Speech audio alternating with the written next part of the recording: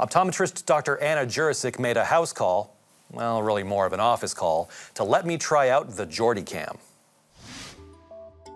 So the Jordy is a head-borne video binocular system.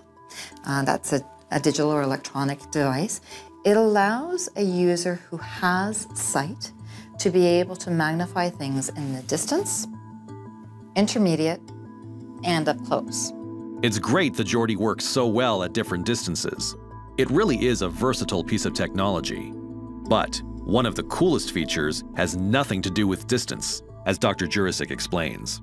And what's cool about it is that with the technology in your TV, you can use an HDMI cable that you actually connect the TV directly into the unit so that the TV information is being streamed right in. So you're actually missing having an extra interface to be looking at. It also sounds like it'd be good for things that aren't textual information or people. If you're looking at things that are symbols, shapes, images mm -hmm. that maybe OCR will recognize, but maybe it won't. Yeah. Or if you have hobbies, um, you paint. Mm -hmm. You can actually use it as your painting. You can increase the magnification. You can analyze the brushstrokes of exactly what you've done.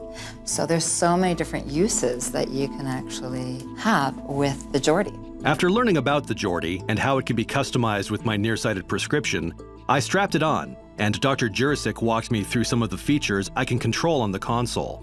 One feature in particular I think would be useful is the image capture option. If you're looking at something and you just want to freeze the image, mm -hmm. you hit that and it just freezes in place. Okay. So that way, if you had something that you're reading, you could just freeze it.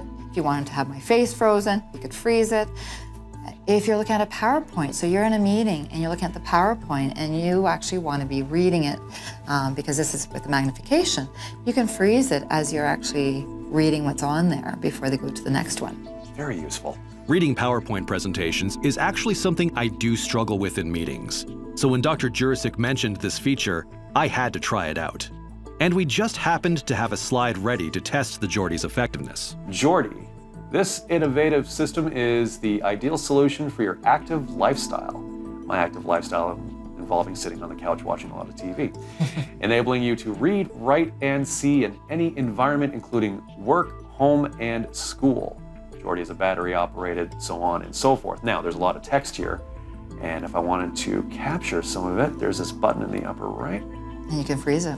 One thing is, when you do zoom in, like any camera at when it's zoomed in very closely at something, it's a little bit jumpy. It jumps mm -hmm. with your head movements. Mm -hmm. um, so it's very useful to be able to capture that image and be able to take the time and read it and then unfreeze Absolutely. and go back to wondering what else I'm missing. yeah. Dr. Juricic showed me some of the other great features, but unfortunately, my time with the Jordy was coming to an end. But not before I got to try it in my editing suite while doing my job as an audio editor.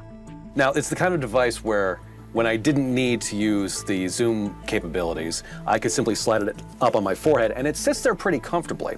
And then when I need to look at something, for example, the how loud something is with a little tool that I have on one other screen, slide it down, look over, and minus 25.1.